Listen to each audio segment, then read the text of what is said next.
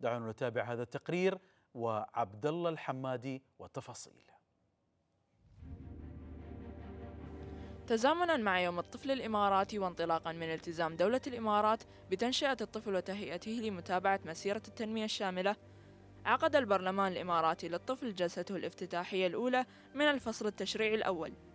وحضر افتتاح الجلسة الأولى معالي الشيخ نهيان بن مبارك آل نهيان وزير التسامح والتعايش وعدد من الوزراء وأعضاء المجلس الوطني الاتحادي والمسؤولين في الدولة وممثلي المنظمات الدولية. وجاء انطلاق جلسات البرلمان الإماراتي للطفل ضمن احتفالات الدولة بيوم الطفل الإماراتي في إطار التزام الدولة بتنشئة الطفل وتهيئته لمتابعة مسيرة التنمية المستدامة.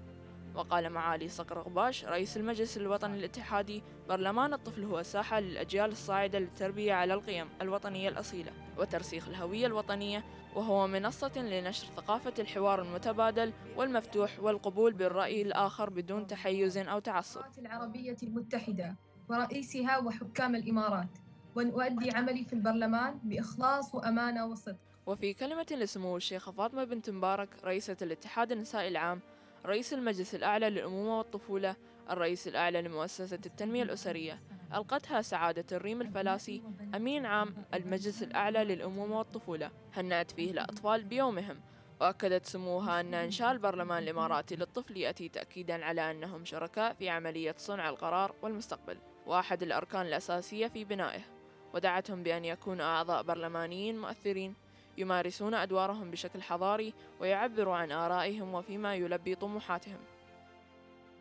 وقال معالي الشيخ نهيان بن مبارك آل نهيان وزير التسامح والتعايش في كلمته أوصيكم بمستقبلكم وانتمائكم وولائكم والحرص على كسب المعارف ومواكبة التطورات وأن نكون كما تريد لنا قيادتنا الحكيمة بأن نشارك العالم في مسيرتنا على أسس السلام والتعارف والتسامح ونبذ التطرف والتعصب. وأن نكون قدوة في ترسيخ المبادئ الإنسانية النبيلة. جدير بالذكر أن قرار إنشاء البرلمان الإماراتي أتى بموجب مذكرة التفاهم المبرمة بين المجلس الأعلى للأمومة والطفولة والأمانة العامة للمجلس الوطني الاتحادي.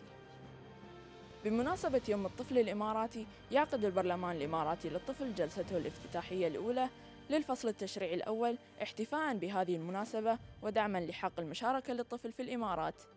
لمركز أخبار قنوات أبو ظبي عبد الله الحمادي أبو ظبي.